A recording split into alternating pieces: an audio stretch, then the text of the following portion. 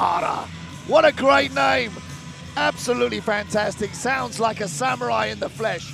Now, Andrews, what do you think of the event so far? Well, this event so every time it's amazing. The, that fight that's very interesting because I saw the last uh, the in the last Senshi uh, Nikolai fought and uh, he like very tough guy. Well, we've said it before. Here in the Balkans, they breed them a little bit different. And I think, you know, their history can tell a story, but these guys are tough. Um, yeah, really tough. So here we go.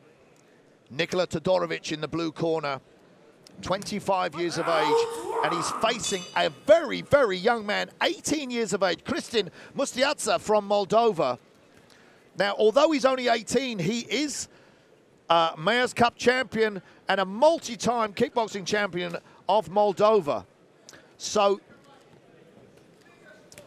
the match, oh, he took a, nice, a big left hand there. I don't know if he was wobbled or he ducked under that. Now Todorovic, he's got seven wins and two losses here in the Senshi ring, so he's going to be very comfortable here. Nice kick. He looks very strong, doesn't he, Andrews? And, um, you know, Cristin Musteata is making his Senshi debut. He's young, and it just makes me wonder if such a big stage might put some extra pressure on him.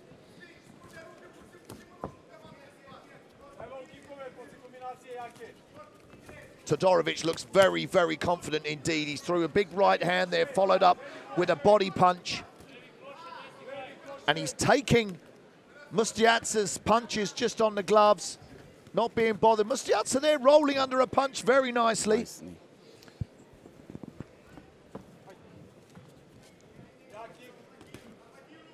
Jab to the body, rolling.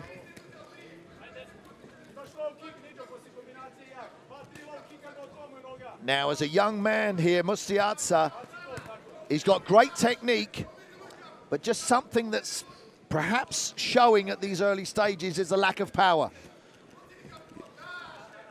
And I don't know if I'm right in saying that. And he's backed up in the corner to Todorovic here. Straight right. quite good, just keep the distance. Throw nice. Yeah, Todorovic looking very comfortable and not phased at all by anything that the Moldovan is throwing. And as I say, it's a very big stage for that Moldovan to step up to. Spinning back fist there, which, which could have caught on the elbow there. Ernesto, who's spotted that very well and just ticked him off.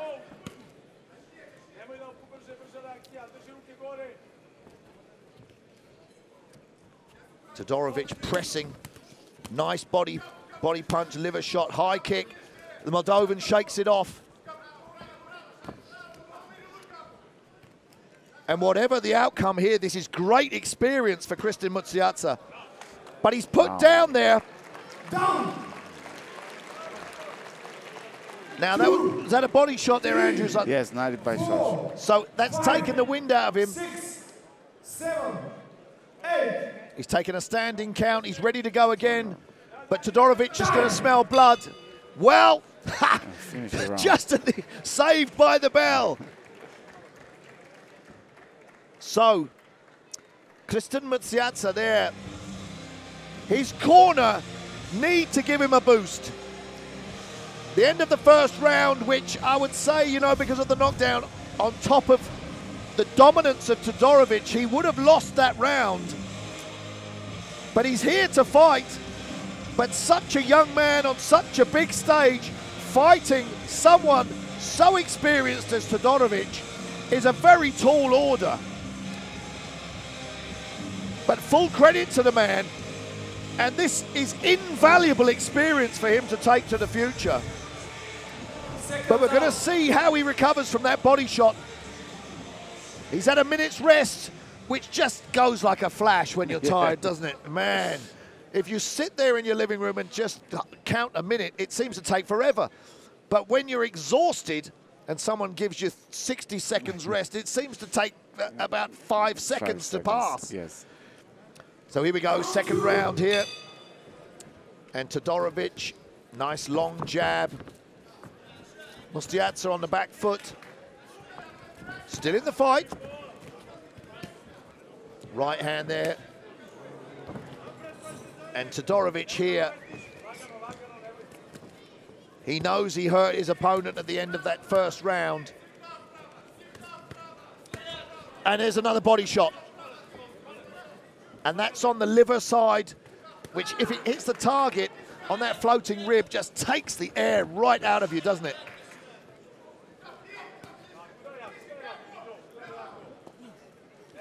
There's that spinning back fist again. Now, what I'd say is there's not many low kicks being thrown in this contest.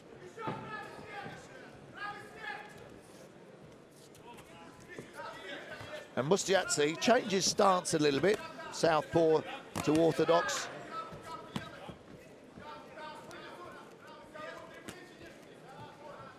But putting up a great fight against a very credible opponent.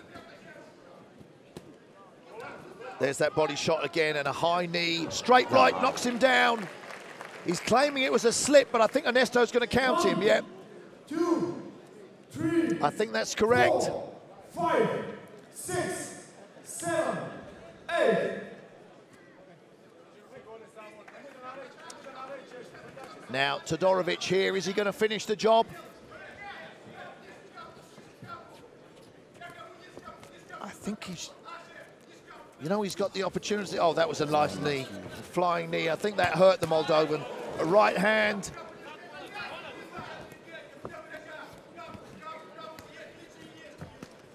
And he could finish these combinations with a low kick and really hurt Musteata. Left hook, another left hook. He's in the corner. Ernesto's taking a close look at this. And that knee hurt him.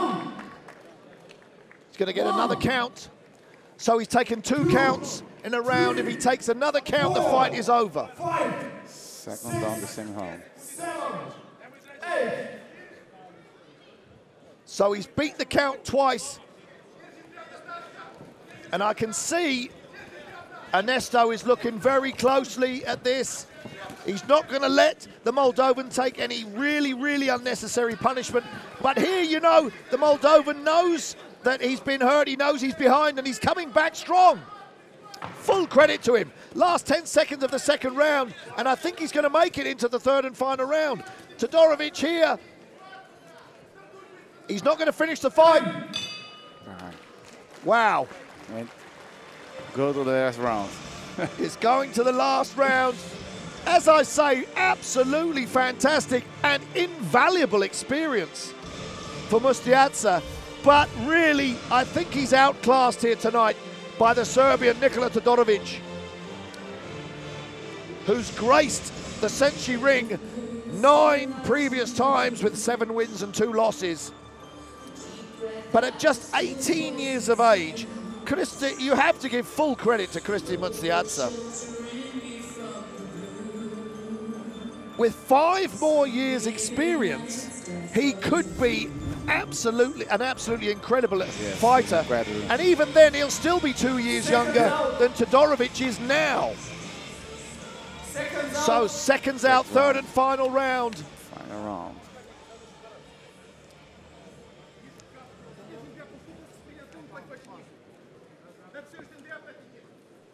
And Mr. Perfect, Ernesto Hoost, gets them to touch gloves in the middle of the ring. Judges are ready. Timekeeper hits the bell. Stiff jab from Todorovic to start the round. Now, I don't know. I don't know what Musteata would have to do here to turn the tables, apart from go kamikaze and throw some very, very big punches. Dorovic there just off balance. Big right hook.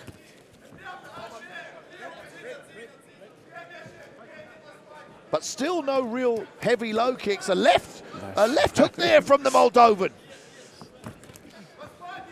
So he's still in there. Oh, a knee puts him down. He's trying to shake it off. He's going to beat this count. I'm sure of that. Six, seven, eight, But to win this fight now, he's got to pull something out of the bag. Very big indeed. Big haymakers now coming from Todorovic. He knows he can finish the fight. He's, he's knocked him down now from the by the body and by the head.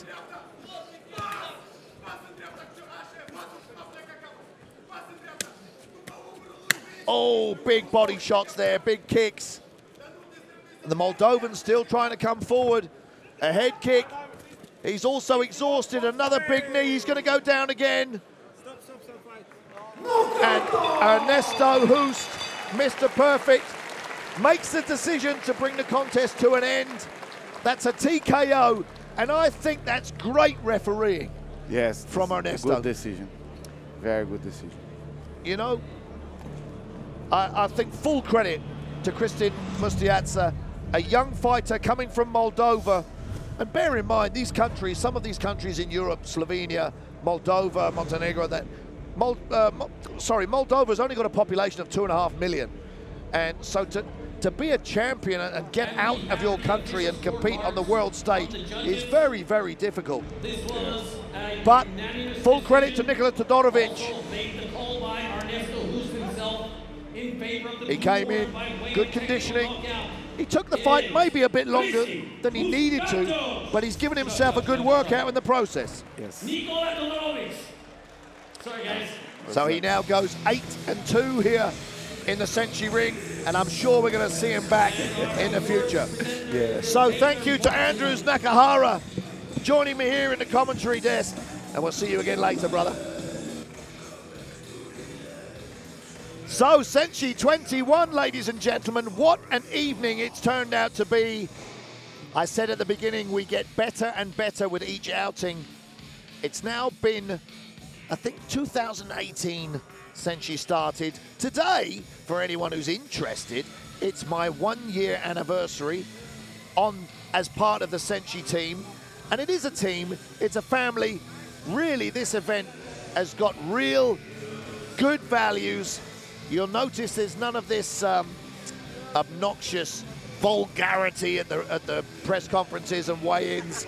We uphold the Budo ethics, the traditions of real martial arts, honor, respect, warrior spirit, and sportsmanship. So we don't, it's not something we want, it's something that we demand, and it's something that we're going to promote